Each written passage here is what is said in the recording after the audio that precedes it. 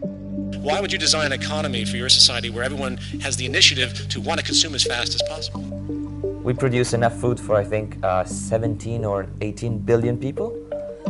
There's 7 billion of us, we should be doing quite good, but there are 2 billion people starving. That's, that's not economy. An economy is the intelligent management of the household. And having twice or three times as much food as you need and not being able to provide for everyone, I think it's, it's, it shows the inefficiency, the absolute inefficiency of the market system and of the monetary system. It's a problem of distribution and it's absolutely inadequate.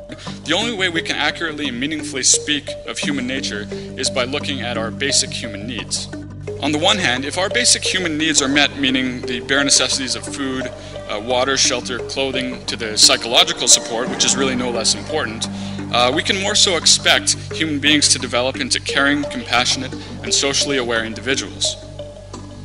But on the other hand, if basic human needs are not met, which is the overwhelming majority of cases within our present society, we get a different set of characteristics that matches this environment, greed, violence, insecurity, and countless other psychological distortions.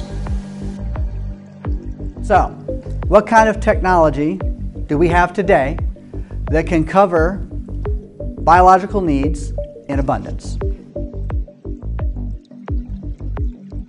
And if science has taught us anything, it has taught us that working together is better than working alone or against each other. We can be so wonderfully achieving were the world simply to stop, look around, assess the situation, look at our tools, take stock of what resources are left and where, and fight the common enemy.